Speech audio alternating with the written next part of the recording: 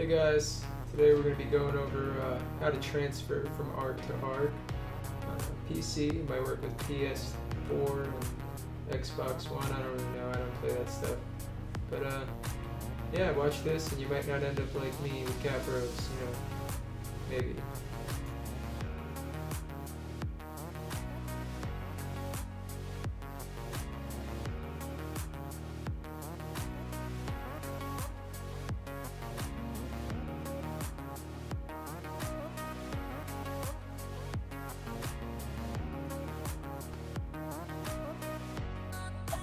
Cannot stress enough, you need to make sure that the coast is clear wherever you go. You may use obelisks or beacons to transfer from one map to another. And I'll show you like this. This is your ARK data. This is where you store your, your items up in the cloud to download them from another map. You can click an item individually if it's a stack of something and just press T and you'll transfer over, or you can double click if it's a single item. You can download items by double clicking them from your ARK data and it will automatically come to your inventory. They will not over encumber you, so don't be shy unless you don't have a mount right next to you to jump on. This is your creatures tab where you can click the dinosaur you want to upload and click the up arrow. Make sure it has nothing on its inventory or else you'll have to empty the bag out next to you. Cannot upload trophies. Uh, the ARK data will not allow that. You can't transfer with them either. If you really need it, I recommend you put it someplace safe on that map. Otherwise, you're going to have to toss it. Um, also, make sure you are using ARK data and not putting your items in tribute because then it will remain in the tribute until you come back. Somebody else can grab it, and you don't want that to happen. So make sure the items you want to upload are in ARK data. Personally, when I'm transferring to another server with a dinosaur, I try to make sure that the saddle is in the ARK data alongside the dinosaur. That way when I get to a beacon or an obelisk or a transmitter, I am capable of having that saddle available on the go the second I download that dinosaur. It's nothing shittier than downloading a dino with no saddle, I can promise you that. Another thing to remember is you can only have 20 dinosaurs uploaded at once and 50 items uploaded at once until it will say you've reached the maximum. You would have to download dinosaurs or items to make room for other items or dinosaurs. You can only have something uploaded for up to 24 hours before it automatically gets deleted and it will not be recovered. If you play on an unofficial server, I recommend you never bother an admin about this because they probably will not help you.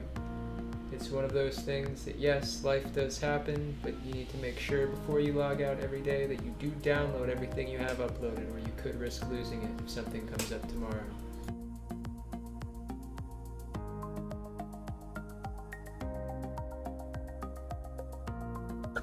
You may download items from your ARK data by simply double clicking the item that you want to download.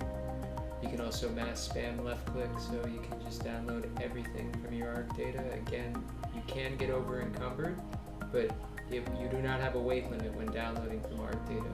You can download dinosaurs by clicking the dinosaur's name in your creatures tab and clicking the down arrow above it. Whenever you download a dinosaur, be aware that every dinosaur that you download will automatically follow you. Also, whenever you upload a dinosaur, all the folders inside of it will be deleted. So if you save your statistics and everything inside the dinosaurs folders, you, you will not have that anymore.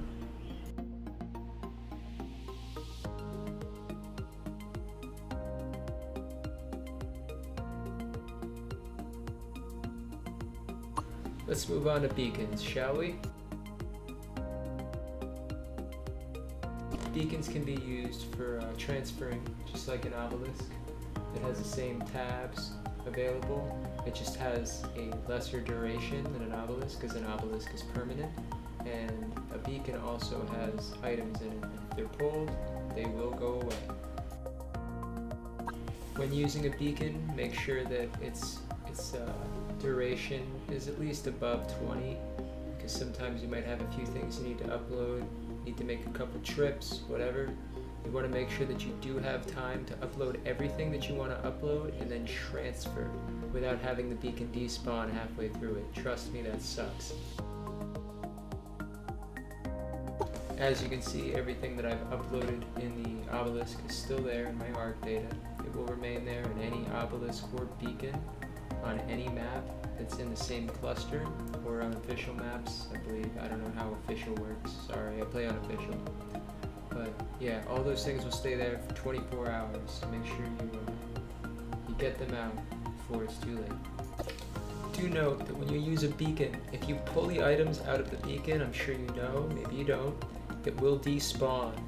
So you can always just put something else like berries or fiber, anything that will stay there for the duration of the beacon's use. Beacons can be a lot sketchier to use for uploading and downloading, so I strongly advise severe caution whenever approaching one for enemy players if you're on a PvP map or PvP server, or for any other dinosaurs that might be hostile, aggressive, anything like that, they are very, very, or much more likely to be hanging around a beacon than an obelisk. But obviously, you're never safe anywhere. But that being said, be sure you know what's in front of you. So now I'm about to transfer over to the Ragnarok map. I'm gonna make sure I have everything with me. If you keep stuff on your inventory, whenever you spawn, wherever you spawn, you will have those items on your inventory. So if you don't have a safe place to travel, this could be a very risky, risky move. All you're going to have to do is click the transfer to another server button and a list of servers will show up that are associated with your cluster. You can transfer to the map of your choice, but obviously we're transferring over to the Ragnarok map.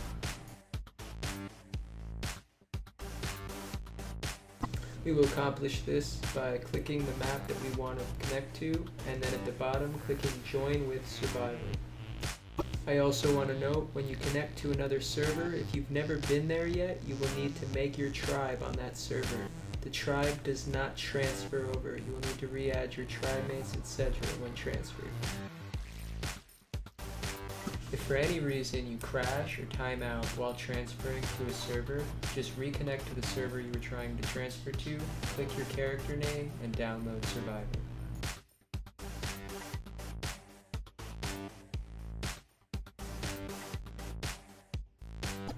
Have a bed on the map that you're transferring to, you will be able to spawn on that with your items that you have on your inventory.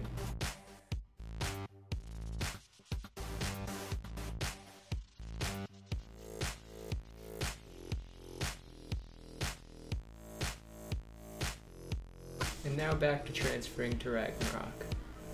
Speaking of which, one of the easiest spots to spawn on Ragnarok is Jungle 2. It'll make you really close to the blue obelisk, making it very easy to download the items or dinosaurs that you have uploaded.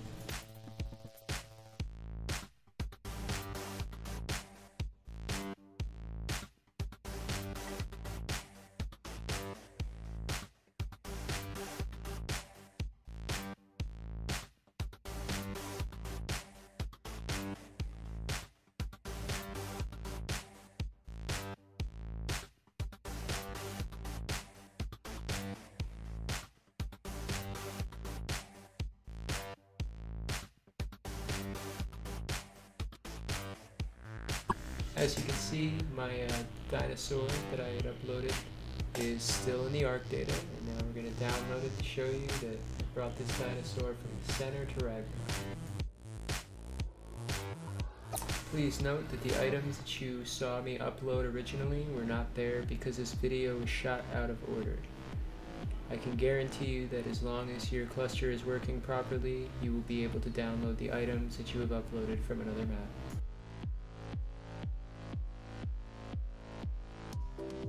Now we'll be transferring over to the island.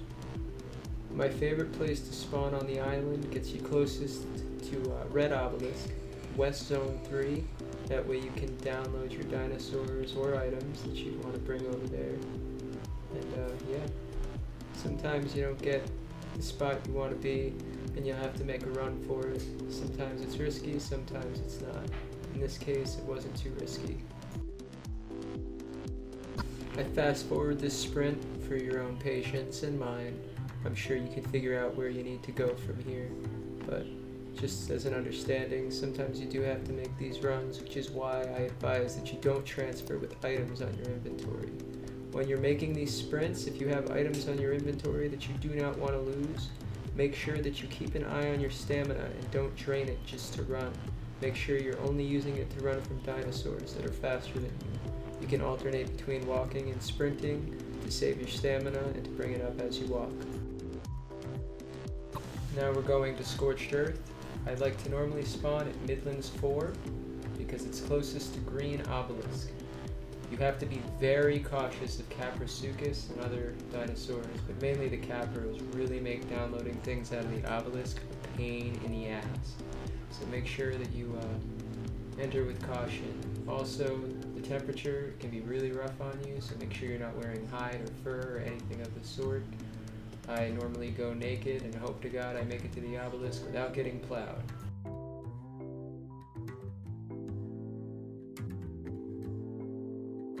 Yes, that is a crocheted jerboa made by my fiance. And when we spawned in, we immediately spawned into a sandstorm, so I kind of took a break for a minute before I started to make my way to the green obelisk.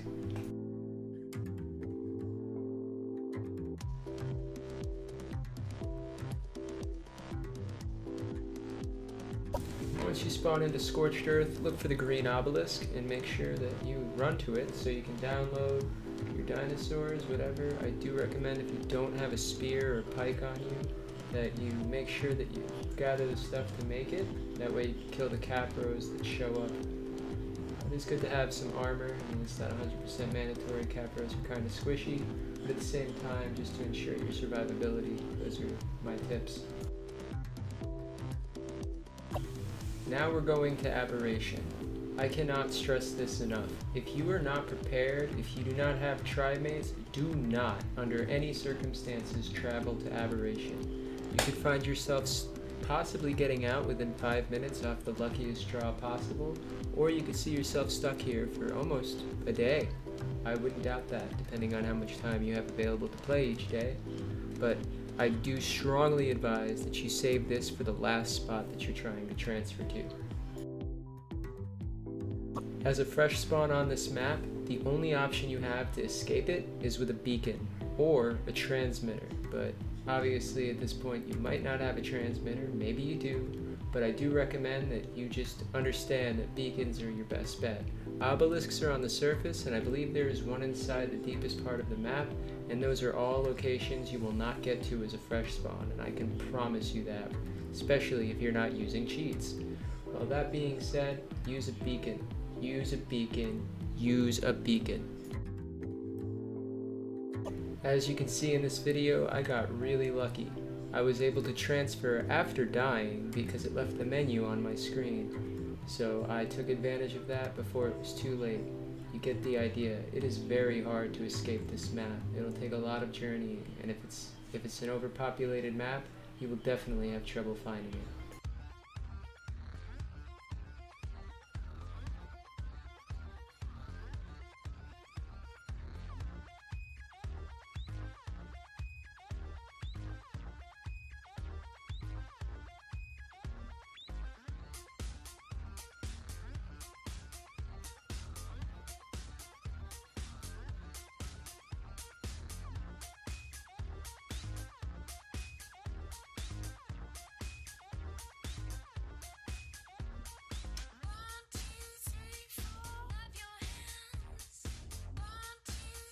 And now we'll be transferring over to the center. The center's best spawn point to get to an obelisk is to the blue obby on Tropical Island South. Make sure you spawn Tropical Island South, therefore you can just run up to the obelisk. Sometimes you'll end up on the back portion of the island and you might have to run around. You're better off killing yourself in my opinion, but sometimes, whatever. You got items on you, you gotta make the run for it. Do note, if you're trying to get to an obelisk and you see a lot of dinosaurs around, you can use other dinosaurs that would attack back for your protection, like a Brontosaurus in this video. You'll see that I have raptors aggroed onto me. I brought them over to the uh, to the Bronto, and it got me in safety's safety's eyes. So keep that in mind.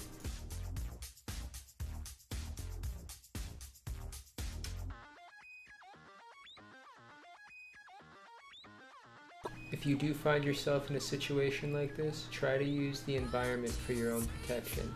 Get your tame downloaded and get the hell out of there quickly before it turns around on you.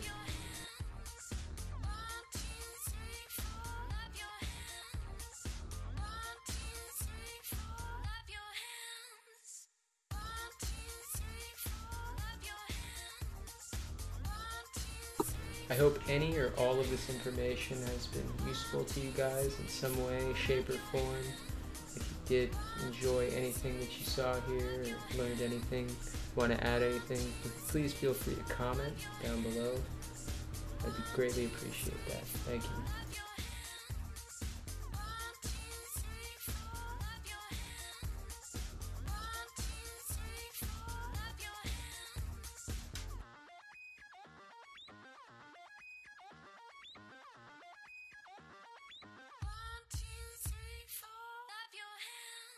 Hey guys, I'm The Bugs Are Bad.